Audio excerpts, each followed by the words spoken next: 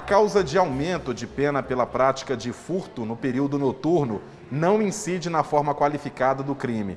Esse é o novo precedente fixado pela terceira sessão do Superior Tribunal de Justiça.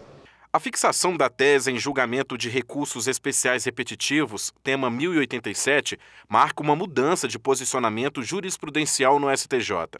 Agora, o entendimento firmado pela terceira sessão é de que a causa de aumento da pena pela prática de furto no período noturno não incide na forma qualificada do crime. O relator dos recursos repetitivos, ministro João Otávio de Noronha, explicou que em 2014 o STJ, seguindo a jurisprudência do Supremo Tribunal Federal, passou a entender que a causa de aumento do parágrafo 1 do artigo 155 do Código Penal sobre o furto noturno é aplicável tanto à forma simples quanto à qualificada do delito de furto. Essa orientação era vigente no tribunal até o momento.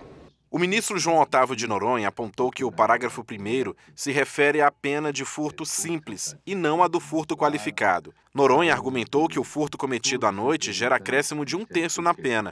E se fosse possível a incidência dessa majorante no furto qualificado, haveria aumentos excessivos. João Otávio de Noronha apontou ainda que a aplicação da majorante do período noturno levaria sanção maior que a do crime de roubo, no qual não se protege apenas o patrimônio, mas também a integridade corporal da vítima. Agora, os tribunais de todo o país vão poder aplicar o precedente qualificado em casos semelhantes. Não havia determinação de suspensão de processos com a mesma controvérsia.